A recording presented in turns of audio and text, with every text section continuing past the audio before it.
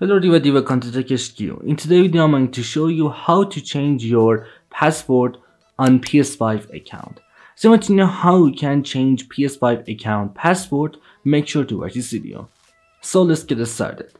To change PS5 account password, first of all just go ahead and open up settings from right over here.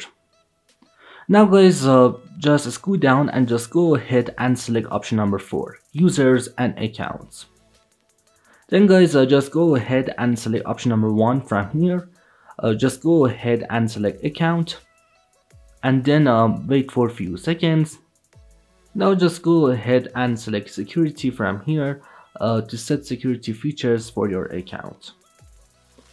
Now just wait for a few seconds and then just go ahead and select option number 1. Just go ahead and select password. Now guys all you have to do is just go ahead and enter your current password on right over here.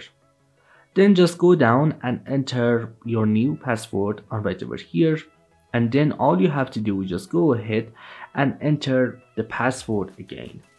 And all you have to do is just go ahead and confirm new password. Then just go down and um, select ok from right over here that's it. Anyway thanks for watching video. I hope this video help you to change ps5 account password in 2023 please go ahead and drop a like on this video and subscribe my youtube channel.